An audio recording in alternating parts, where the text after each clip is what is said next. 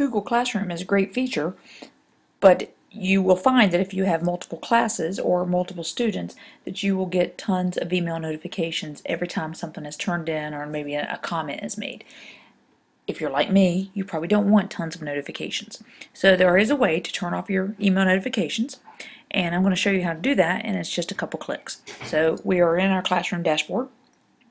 I'm going to go here and this is our little settings. I'm going to scroll down till I get to settings. It's at the very bottom.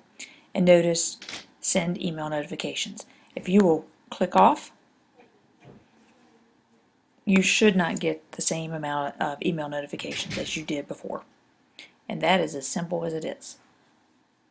So I'm going to go ahead and, if I were to do this, like I said, I would get tons of them. Do this. So just remember, just turn off and you should not be receiving all those email notifications.